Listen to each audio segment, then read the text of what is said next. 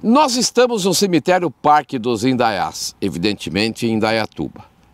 Aqui está sepultado Andreu Silva Jarakonzinski. Ele, com 19 anos, completaria 20 no próximo dia 15 de março.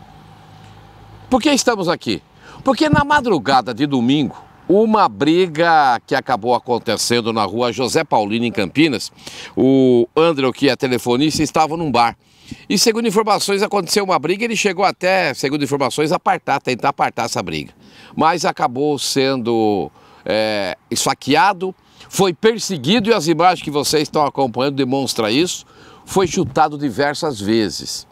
Ele foi socorrido aí ao Hospital Mário Gatti, em Campinas, e por volta de 5 da tarde ele acabou falecendo.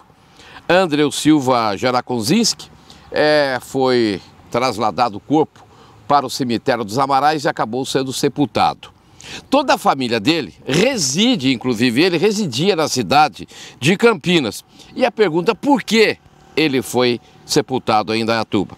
Segundo nós apuramos, a mãe dele, Dona Aparecida de Fátima Silva Jarakonzinski, ela comprou esse jazigo em setembro de 2019, porque o irmão dela faleceu, provavelmente morava aqui em Indaiatuba, e foi sepultado. E assim, esse local acabou servindo, infelizmente, para que a dona Aparecida e os familiares pudessem sepultar Andreu Silva Jarakonzinski, 19 anos, morto de forma tão trágica. A polícia de Campinas já tem suspeitos. Com certeza chegará aos autores desse bárbaro crime.